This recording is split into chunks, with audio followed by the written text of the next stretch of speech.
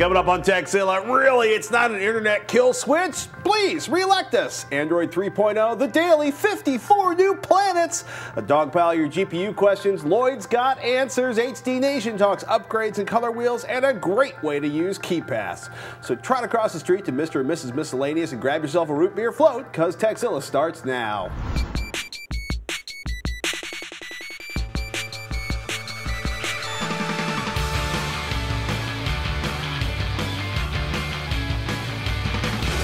This episode of Tekzilla is made possible by GoDaddy. Gamefly. Go to gamefly.com slash tekzilla for your free trial membership and Jack Threads. I'm Patrick Norton. And I'm Robert Heron. Welcome to Tekzilla, hands-on reviews of the latest tech and how to make the most out of the gear you've already got. Hey, whether you're a beginner or tech support for your friends and family, if you've got a question about tech or the best leather belt made west of the Mississippi, Langles Leathers. Uh, hey, we've got an answer for you. And if we don't, we'll track down someone who does. That's where I got my new belt from oh, when I was up awesome. in Portland. They're awesome. Any case, clearly. Huge, amazing amounts of news came out the day we shot last week. Uh, first up, I am static electricity boy, and I can power small communities, possibly Chicago, by merely walking across the floor. Egypt, in bigger news, came back online and has the internet. Well, in, in, after five days, they've turned the internet back on in Egypt. That that that's wrong. Should never cut the internet for any reason whatsoever. My humble opinion. But meanwhile, Senators Lieberman, Collins, and Carper are claiming their quote protecting cyberspace as a national asset act is not a kill switch, but a tool to quote protect the U.S. from external cyber attacks. And that they'll be able to update it to contain, quote, explicit language prohibiting the president from doing what President Mubarak did. Yeah, well, it'll be I, it'll be explicit language. How about explicit language that says we will never shut it off no matter what, and we will fortify it in such a way that it can never be turned off? But what if, what if it's for the children? Isn't it for free? It's for everybody. No, it, it, it's I, I'm uh, clearly wrong. It's going to be interesting to see what S3480 morphs into, since I'm not entirely sure how language in the bill, which allows the president to declare a national cyber emergency and take control over privately owned networks, if they're critical infrastructure, as determined by the president and his crew, uh, the decisions shall not be subject to judicial review. It is ultimate power in the hands of the president, which I don't care who the president no. is, freaks me out. I look, yeah. and, no review. the president's job's getting better and better, man. There's well, some great, but, great rules there. I mean, to the credits of the senators, they're like, we need to have a plan in place against, in case somebody attacks the United States cyber infrastructure because Americans need to shop online, right? I mean, I, I, joke, right? But basically, it's yeah, you're like whatever, dude. No, that, uh, it's it's serious. it, it is. It is very disconcerting, serious. and I, I, hate that this is even a question. So. Well, call call your Congress critter and express your opinion. That's the best thing you can do. Yeah, or write them. Uh, Declan McCullagh, by the way, has some really good analysis and history of what's going on with this and, and why uh, why they're discussing this in the in the Privacy Inc. blog. It's worth your time to read that one. Cool. In other news, Android got its market, or I should say, the Android market now has a website, so you can get your app shopping on somewhere other than your Android device. Yay! Yay! Google also announced Android 3.0, aka Honeycomb, aka the version of Android, quote, specifically optimized for devices with larger screen sizes, particularly tablets. Honeycomb features the new holographic UI design, content-focused interaction, home screen customization, the ability to directly download photos from USB cameras, USB keyboards, and a really interesting camera application with the ability to control exposure, focus, flash, zoom, and more if the hardware is there. Uh, and also pretty much ignores phones. Yeah, it's basically this is a tablet operating system, not a phone operating system. I'm digging it, man. It's but people are like, "Can I get this on my phone?" No. Or, or it could be also an inexpensive way to put good software in a TV, multimedia quality software in a TV. So I think they're kind of dun dun. Yeah. Rupert Murdoch announced the Daily last week, the industry's first daily national news publication created from scratch for the iPad and other tablet devices. Big bet by the man. We're talking about 30 million. The rumor is 30 million they spent developing this. It's we're talking about a pretty serious experiment. This is something targeted towards the iPad and, of course, the giant pile of Android and Windows 7 tablets that are coming out. Every day, 365 days a year, over 100 pages of original news, life, entertainment, opinion, and sports. And it's not just that. They're claiming they're going to have video content, 360 degree photos you can explore by swiping, interactive charts, infographics, and clickable hot spots. The option to save articles to read later, in app comments, including audio comments, which scares me, and of course, your local weather, your favorite sports team scores, news and feeds, crosswords, and Sudoku puzzles. Yeah. 40 bucks for a 365 day subscription. Much like Jesus Diaz over at Gizmodo, I gotta say, pushing 100 pages a day, seven days a week, 52 weeks a year would be very impressive. Oofa. It's a lot. Is Also- it? Yeah, because this is also Rupert, who's like, it's you know, I think it's a great time to sell MySpace because I'm moving on to the Daily. I need more money. There you go. hey, NASA announced that this week the Kepler Space Telescope found, get this, 1,235 planets in four months. That's pretty cool. PopularMechanics.com has a great interview with William Borucki. God, I hope I'm saying that right. Borucki? Uh, Brocky. Rocky, there we go, who talks about the findings, including, quote, 54 candidates in the habitable zone of their stars. It means basically you might be able to live on the darn thing if you could get there. If you want to find out why Kepler has the most boring mission ever launched and why that's so cool, check the link in the show notes. It's pretty crazy. I am I'm excited. The James Keck telescope that's going to be going Yeah. up uh, hopefully in the next year or so. Combine that with what they're doing with Chandra, the X-ray telescope, and, and this announcement. And It's a golden age of astronomy. Oh wait, I can't Awesome. hum that or Paramount will sue us. We've gotten quite a few questions in the wake of Mozy's changes. The super simple offsite backup tool has dropped its unlimited backup for five bucks plan. Mozy's new plan is 50 gigabytes on one computer for six bucks a month, 125 gigabytes a month for up to three computers for $9.99 a month. If you're currently an unlimited subscriber, good news, you've got basically unlimited backup through your last payment term. Hopefully, last time you paid it was for a year and not for a month.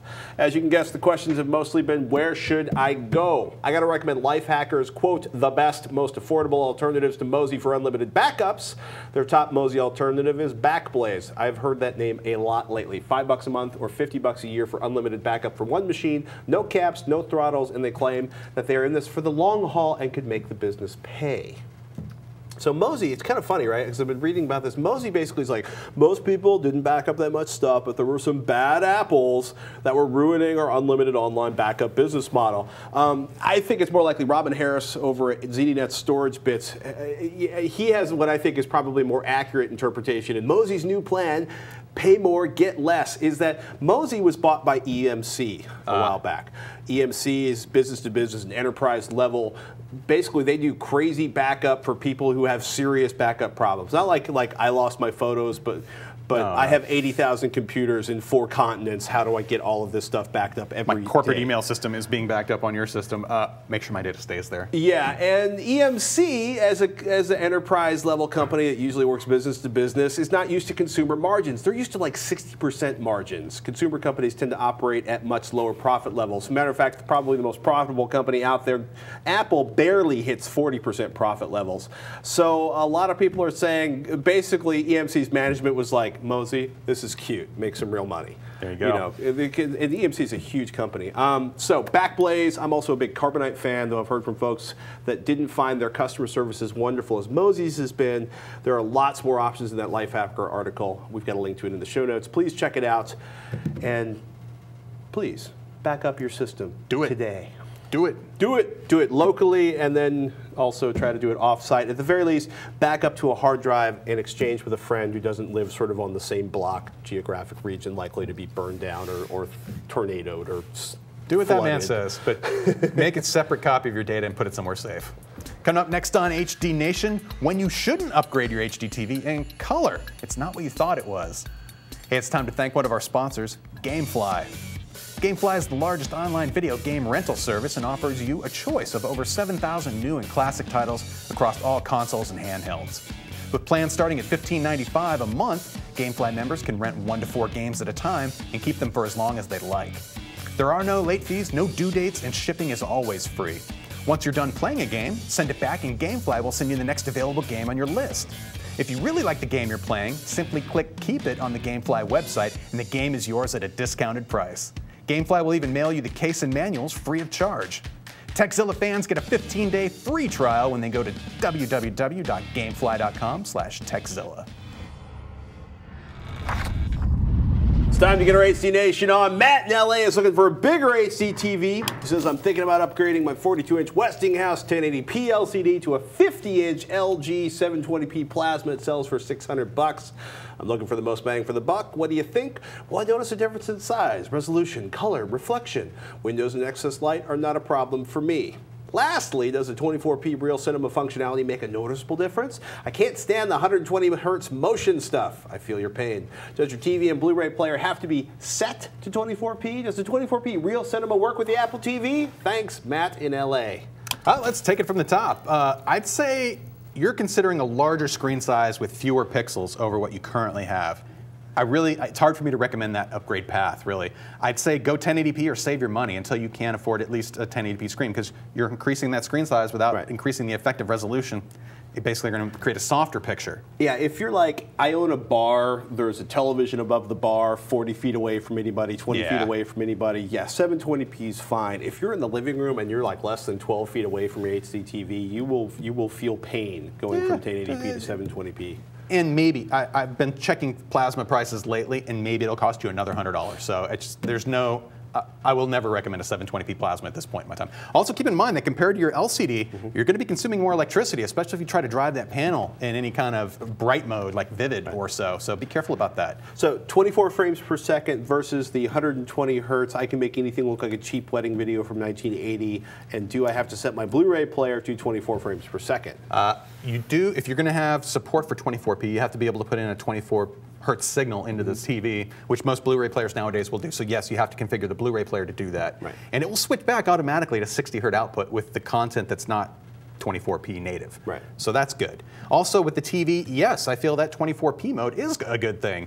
That will prevent that smoothing mode when you enable the 24p mode on the TV compared to say the 120 hertz mode with eh, if it's left by default, it will add those interpolated frames which creates that smoothing effect which most people despise, including including myself. It really makes film not look like film. Right. Even though technically it may be a superior way of displaying film, it's just very disconcerting. Not because it's not accurate, but Oh, it because isn't accurate. Well, it's not accurate compared to a. s- You taking know, the look away from it. Yeah, it's a look. It's Yeah. you know what I hate. Uh, yeah, I hate the smooth stuff. I, I dig it, uh, especially on plasma. So just make sure that you've got the player, the player set up to output 24p, mm-hmm. and then the TV. Once that, once it's receiving that signal, it'll give you that option then to enable or disable that mode. And take a look at it both ways. That particular function, that 24p mode, in most TVs, it's getting better over time. So I've noticed that the latest TVs do it a lot better than even a couple years ago. It's also it's, it's not unusual for the sort of the newer the Blu-ray the newer the Blu-ray player is, the more likely the Blu-ray player will automatically if you you let it auto decide the output format, it'll automatically do 24 p for movies and you know the regular 1080p 60 hertz stuff Totally. everything else. Hey, this week I came across a fascinating article about human vision, color vision really, and why traditional color wheels that we use in selecting colors or just looking at how colors blend are considered wrong. Now, I saw this on a uh, website called blog.asmartbear.com slash colorwheels.html. Now, the article's gist was really describing the differences of mixing colors when it comes to light versus pigments, like inks and dyes. Well, it's kind of funny because it starts out like everybody learns in art class red, assuming you still have art class, red, yellow, and blue. These are the primary colors. Red, green, and blue. Red, green, and blue. Yeah. Wow. Uh, at least for for the primary colors, for See, t- and we've additive already, color. we've already sort of gotten to the gist of the article point, which is that there are a lot of different ways to define color, and most of us learn the wrong way. And there's a difference between pigment colors, which are stuff you mix on a paper, versus light colors, which is like looking at a television or a Totally. projector. And then and the crux of it really is that with, with light, it's an additive process where, say, you have a red a flashlight that puts out red and a flashlight that puts out blue. If you cross those beams, you'll get magenta or purplish Right. color right in the middle. And the same with like a yellow light or a red light and a green light, you get like a yellow mm-hmm. where those two overlap. But with print, it's different. It's actually a subtractive system that takes those second, what are considered secondary colors, your, your red or your yellow, magenta, and cyan, and we'll basically blend those instead to basically absorb the wavelengths you want, like, and then only reflect the light you're trying to achieve. It's, it's a totally different process. So if you ever open up your, your ink printer, your inkjet printer, Right. you'll usually see, CMYK. yeah, uh, basically the, the, the secondary colors plus a black channel because that's the one thing you really can't do well with most like inkjet systems Right. is create black. It comes down to also, once you get over that, that additive versus subtractive color systems and the difference between print and displays or light technology, it's also the brain's own color filters and how that ties into the concept of color opposites. Namely, that red and green are considered what are called color opposites, and blue and yellow are considered color opposites. They don't really mix. Mm-hmm. If you have, say, red on the screen at 100% and you add 25% green to it, you don't suddenly get a reddish green. You actually subtract out 25% of that red instead of appearing at you 100%. Get duller red. Yeah. So no, say less bright red. Exactly. And that is really kind of interesting. And it has to do with basically a pre-processing system in the human brain that says, you know what, when I'm receiving of this particular wavelength and this particular wavelength, here's how these two are going to interact based on the filters of the brain and how we end up perceiving it. Hmm. And this whole thing about the color opposites determines how it is that we actually perceive the color magenta. Because if you look at a spectral graph and see where magenta lies, it's like, oh, or, or a spectrum of, of all visible color, you'll notice that magenta's not on there anywhere. It's one of those colors that's totally made up in your brain and how that occurs. And this article just really kind of put it together. And in a sense, it got me considering is, is yellow really truly the fourth primary color? And what does that say about Sharp's Quadtron technology too and adding that fourth colored pixel? It, really got me thinking, and it was a really well done article in terms of maybe we should have a color wheel with four primaries, having blue and yellow at opposites mm-hmm. and red and green at opposites, and then the blending around that way. And it, it kind of makes sense on a lot of levels. And I just recommend you take a look at it. It, it was just utterly fascinating to me. And if you're a, if you're a display and or print geek, I think you get something out of it. And off to the new Blu-ray releases. Let's do it. Hey, it's now time for the new Blu-ray releases for the week of February 8th, 2011. First up, it's kind of a funny story. An adaptation of Ned Vizzini's novel of the same name. It's kind of a funny story follows Craig Gilner, a suicidal 16-year-old who checks himself into a mental hospital. During his stay, Craig meets a diverse set of characters, including his inpatient mentor, Bobby, played by the funny man Zach Galifianakis. As with most Blu-ray releases of recent films, the transfer is of high quality, with the feature having plenty of room thanks to the 50 gigabyte disc. So expect clean 1080p VC1 video and clear DTS HD master audio. The extras are average, with commentary tracks, deleted scenes, outtakes, a making of mini documentary, and trailers rounding out this single disc package. Next up, Thelma and Louise, the 20th anniversary edition. This 1991 film was directed by Ridley Scott and stars Susan Sarandon and Geena Davis and features Brad Pitt in his first major film role. It tells the story of two best friends who embark on a vacation that quickly turns into something more dramatic and ends with an iconic ending scene that has been referenced and recreated many times over. Shipping on a single Blu ray disc, the film sports a 1080p transfer of the original 239 to 1 feature. Extras include deleted and extended scenes, including an extended ending, which includes commentary by the director. You'll also get documentaries and featurettes, a music video by Glenn Frey, and multi angle storyboards of that final chase scene. Also released this week, Uncle Buck. This is one of John Hughes' 80s classics, this time with John Candy in the title role as a bachelor uncle who steps in to babysit his nieces and nephews, including Macaulay Culkin. And of course, hilarity ensues. The picture is a 1080p transfer of the original 185 to 1 feature, and the sound will be encoded in DTS HD master audio. Unfortunately, extras on this single disc offering are sparse, listing only production notes and quote cast and filmmakers. But in exchange, this release is very affordable with an MSRP of $14.99 and Amazon listing it for only $10.99. Other releases include Criterion Collection's Amarcord, Barb Wire, Beauty in the Briefcase, Discover Planet Ocean, 1987's Five Corners, 1996's Flipper, For Colored Girls, 1978's I Spit on Your Grave, 2010's I Spit on Your Grave, Legends of the Fall, Life as We Know It, as both a single disc or a DVD digital copy combo, 2009's Middlemen, 2010's My Soul to Take, Ocean Odyssey, The Blue Realm, Ong Bak 3, either on its own or as a digital copy combo, Paranormal Activity 2, 1984's A Private Function, Repo Chick, the River Wild, the Criterion Collection's Still Walking, Tamara Drewe, Waist Deep, Wild Target, and you again. Hey, it's time to thank one of our sponsors, GoDaddy. GoDaddy.com makes it easy to customize your own virtual dedicated server. Choose one of three popular plans, or select your own Linux or Windows servers with all the plan options you need. And remember, you can download GoDaddy's free iPhone, Android, or Blackberry app to order right from your phone, manage your current domains, and more. Want a discount? Just use the code TECH9 to get $5 off, $30 or more. And be sure to check out revision3.com slash GoDaddy for a list of all the amazing GoDaddy deals from Revision 3. Welcome to this week's freebie download pick. A free program that we find useful, fun, or incredibly interesting. This week, Microsoft Security Essentials. If you're looking for a thorough, free antivirus and anti-malware program, look no further than Microsoft Security Essentials. It provides real-time protection, meaning that it'll warn you if that program you're trying to install isn't as innocent as it looks. And it automatically downloads updates so you're always on the ball when it comes to the latest threat. You can schedule a system-wide scan on whatever time frame you like, and even specify the maximum amount of CPU usage it can use. You can even scan removable drives, and if you're sure you know what you're doing, you can even exclude specific files, file types, or processes from the scan. So if you're surfing the net without any protection, stop it. Grab Microsoft Security Essentials and rest easy. Loyd Case is back. No new GPUs this time. Instead, he's answered a dog pile of your graphics questions. All right, let's fire up a question we get a lot. What's the cheapest PCI Express GPU you recommend for non-gaming PCs or home theater PCs? Well, right now, uh, I'm really liking the integrated graphics built into the Intel's new Sandy Bridge GPUs. Uh, CPUs, I mean. Uh, they're not perfect for things like Blu-ray. Uh, Robert Heron will note that they don't do 24p perfectly. Most people probably actually wouldn't notice. Right. And I've successfully connected into a Panasonic 3D plasma, and mm-hmm. they do 3D Blu-ray just fine. Um, so if really, if you want the lowest power solution, you know, get a low power Sandy Bridge. They have 35 watt Sandy Bridge mm-hmm. processors mm -hmm. you can get, and uh, put that in there, and you can build a real small form factor.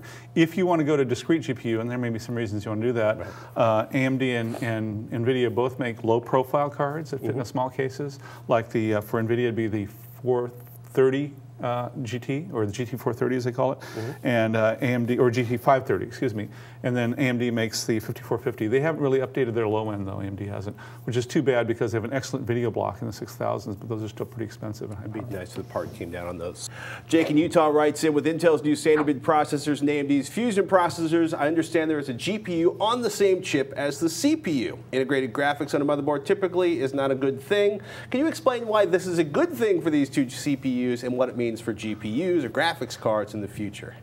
Well, first off. Um, all these integrated GPUs, including the ones that are built on the processor die, can be disabled. So mm -hmm. if you stick a PCI Express card, you don't have to worry about not being able to use it. Yeah. Uh, I want to get that a point across. But the, the, the, advantage of having the GPU on it, first of all, there's so many more transistors they can put in these, these high density manufacturing mm -hmm. processes.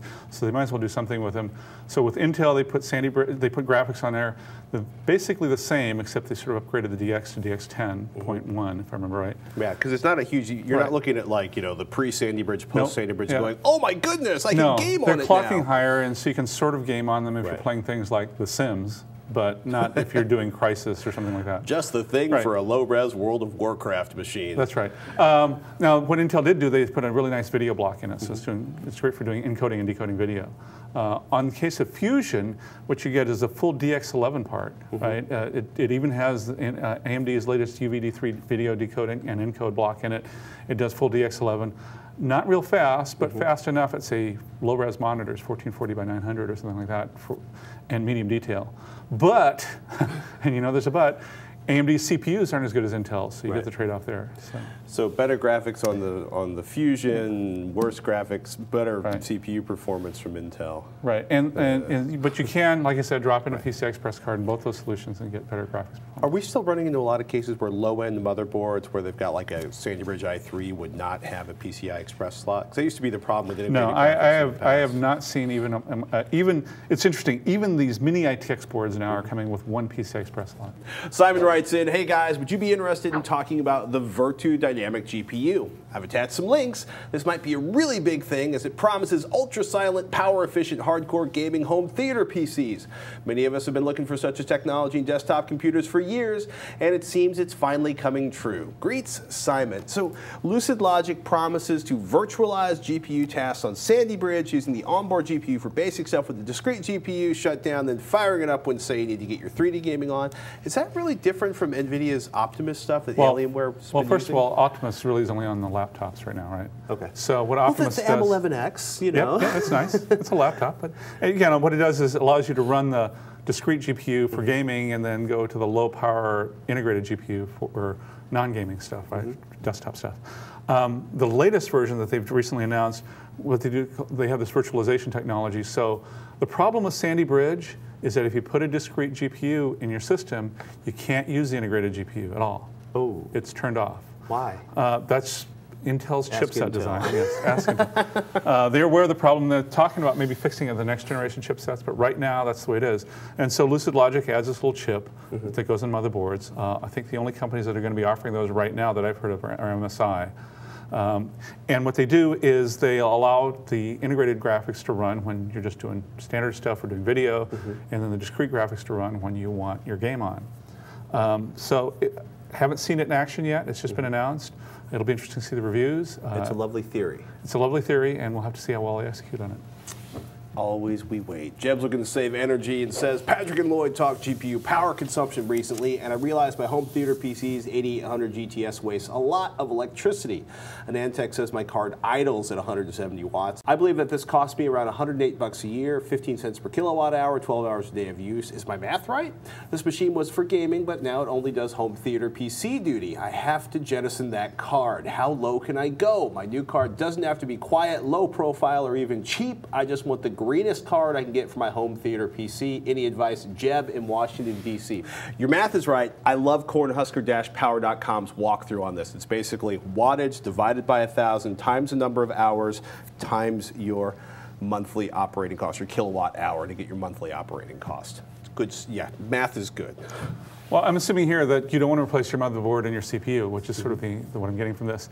Uh, there's a lot of solutions out there. Uh, AMD's uh, Radeon HD 5450 is low power. Uh, I believe that NVIDIA's GeForce GT 530s don't even require a power connector, so they're very, and they idle at like a few watts as opposed to 170 watts. so you'd save a whole bunch of power if you got one of those cards. So that's sort of what I take a look at. And probably be quieter too once things get Yes, and some of them are even fanless. I like fanless. Fanless plus home theater PC equals good unless you're stuffing everything in a closet. Walter's got a classic GPU question. He says, Hey Tekzilla, what's more important while gaming, the CPU or the GPU? Some say processor, some say graphics, some say both. I'm hoping you guys can help me get a clear idea on this. Thanks, Walter. I, I say that it depends. I mean, I tend to lean towards the both category if you build a balanced system. But in fact, uh, all games are getting more visual in nature. Even a turn-based strategy game that's heavily CPU intensive, mm-hmm. like Civilization 5, now supports DX11 graphics and has neat eye candy in it, right? Right. So they're both kind of important, and it really depends on what your gaming style is. Are you kind of guy that really needs to crank up every single like graphics slider? You'll probably want to beef your graphics card, but you're still going to need a good CPU in, in case to do the AI and physics and stuff like that. I think, can it also make a big difference like how big your monitor is? You know, Yes, resolution counts, right? So if you have a modest monitor that runs at 1440 by 900 or 1680 by 1050, like a lot of the old 22-inch monitors run at, you probably won't need the highest end graphics card. It would be a complete waste. Right. Uh, even if you crank up all that eye candy, right? Right. Get, a, get a mid-range card. Uh, if you've got one of those 30-inch panels, you may need two graphics cards. so you know, it depends on what you're driving to. It's always amazing to look at the, the graphics charts where you see like, you know, f- you know, a cheap card, a, a middle of the range card, and a high end card, and they kind of flatline between the middle of the range and the high end if Right. something's actually CPU constrained. Yep. It, a lot depends on how efficient the game engine is. For example, I'm playing Mass Effect again, right? 2560 by 1600, all the eye candy cranked up. I've got one HD 6970 in there. It's doing fine. Right. Uh, Metro 2033, which is this Russian game that's a first-person shooter, it is amazing dog of an engine in the sense that it just eats up everything, graphics, CPU, everything you can throw at it. It's sort of the new Crysis. and so you want as much as you can in both categories of that one. Well, generally speaking, though, balanced system is the way to go. Yeah, balance your system. And that, as you noted, includes the display as well. Is it still a good rule of thumb to, to basically your GPU should cost about as much as your CPU? These days, that's probably still true, but bear in mind now that, that you know you can get something like a the, one of the new Core i5 2500Ks now costs like $200. uh, but on the other hand, like I said, the Radeon HD 6870 just dropped about $200. So There you go, parity. Loyd, awesome, amazing information as always. What's coming up from you on the writing front? I've got. I just did a home theater PC project using Sandy Bridge for PC World that'll run next month, I believe. And I just did a couple of those GeForce uh, 560 Ti cards for Maximum PC. When's that one going to hit the street? Those are already on the website. Cool. So if you want to see how that, well, that performs against some of the older cards, then go check it out.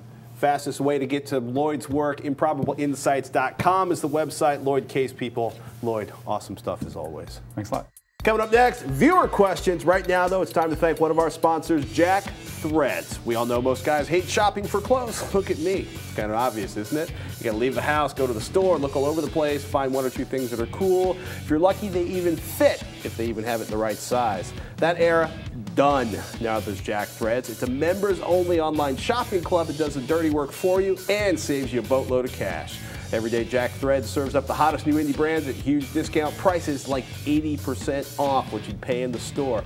Stuff like Kidrobot, the hundreds, and American Apparel for way less than you'll find it anywhere else. Now, Jack Threads is a private club, but Tekzilla's got the hookup for you. To get access to these awesome deals, do yourself a favor, go to jackthreads.com slash TEK, and you'll get to skip the waitlist and become a member right away. Oh, and did we mention that it's free to join? jackthreads.com slash TEK, and you will instantly start saving up to 80% on clothes without even having to leave the house.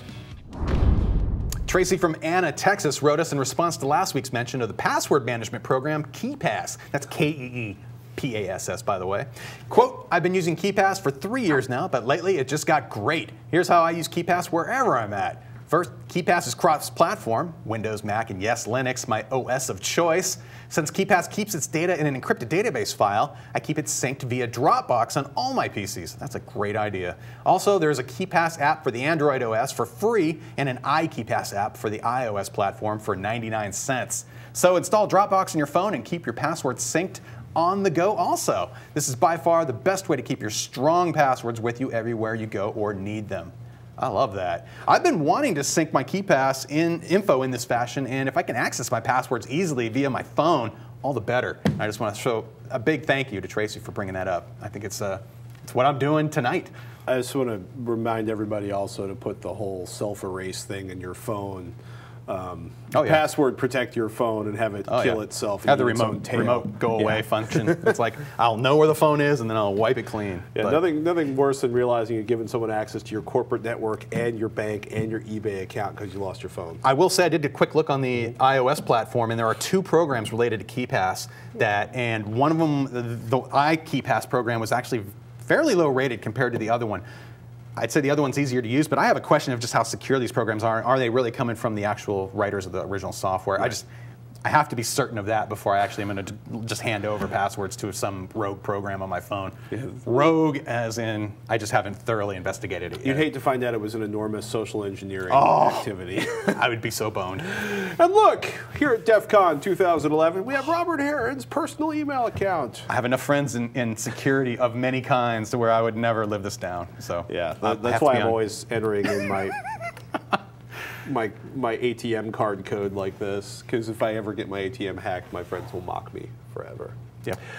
Brandon from Wisconsin wrote in asking, well, about screen tearing. Since I experience screen tearing mostly when I'm playing on the PS3, even more so on the Xbox 360, and occasionally while watching TV through my satellite box. Will a video processor such as the DVDO Edge do anything for this, or is it all caused by the GPUs in the individual systems? Brandon in Wisconsin.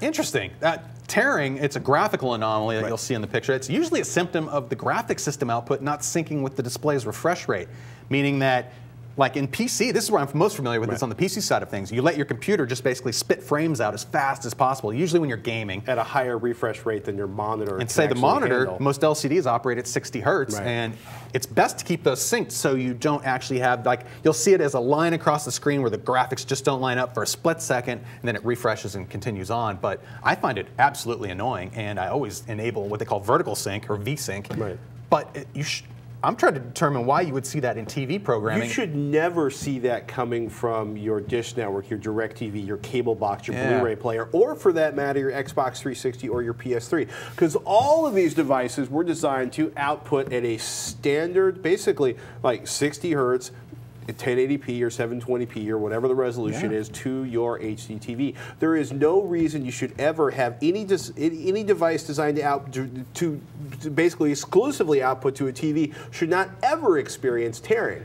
Which makes me wonder: Is there a problem in the firmware on the monitor he or she is I, using? I'd also check the cables. I'd, be, I'd need more information. How is everything being routed to the TV? Uh, are, is there an AVR in the mix somewhere? Right. Is there how's the cabling set up?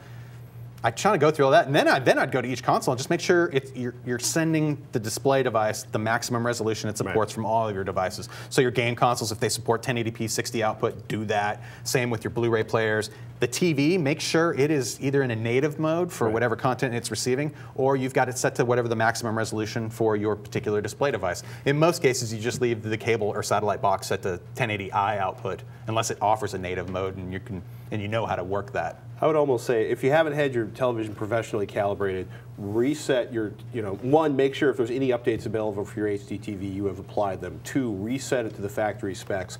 Three, basically calibrate your HDTV. We've done a whole bunch of segments on how to do this for practically no money. Four, individually connect your PS3, your Xbox 360, your other devices to the HDMI port on the television or the component. Make sure they are all set up to the maximum output that is compatible with your HDTV. Then, if you if you don't see the tearing, then start adding in your your other devices, your AVR, anything that might be, or switches, anything that might be between those devices and the HDTV, and hopefully you will eliminate this. Because you shouldn't be having that problem at all. Right. And I don't want you to go out and spending you know four or five hundred dollars on a piece of hardware hoping to fix it when you know it just shouldn't be happening in the first place. Yeah. Hey, for everybody watching, we live on your questions. So email us, Tekzilla at revision3.com, at Tekzilla, at Robert Heron, at Veronica Belmont, at Patrick Norton. Tech Help, product reviews, how-tos. You ask us, we'll do it, but we need your emails or your your tweets. Tweets, Tweets. smoke signals. Smoke signals, no smoke signals. okay, no we got signals. fog here, smoke signals don't work so That's good true. in the Bay Then we get lost in the fog. Even better, send us a video question. Think of all the fun you can have and all the admiration of your friends and family when they see your mug on our show. Please just keep it to 15 seconds, upload it to YouTube, and send us the link in an email with video question in the subject line. And as always, you can find us on Facebook at facebook.com slash tekzilla. Or at uh, youtube.com slash techhd. Oh. If you got the YouTube account, we'd love it if you subscribe Please do channel. so. And thank you so much for watching. I'm Patrick Norton. And I'm Robert Heron. Until next time, you've been watching Tekzilla.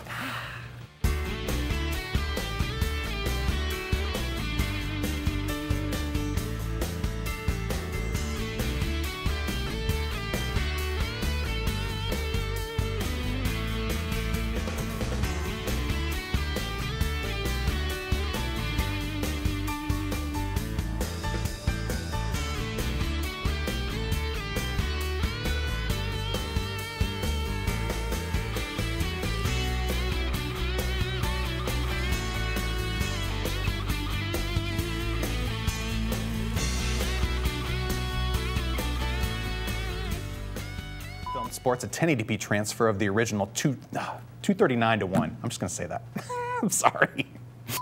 Picture is a 1080p transfer of the original one, uh, 185 to 1. Why am I having with numbers today? The Criterion Collection's Armacord, Amacord, the Criterion Collection's Armacord, Am, Am, Am, Amacord, Amar, Amarcord, Amma, Amar, Amarcord, Am, right? Is it Am? Amacord? Amarcord. Amarcord. There we go. Jeez.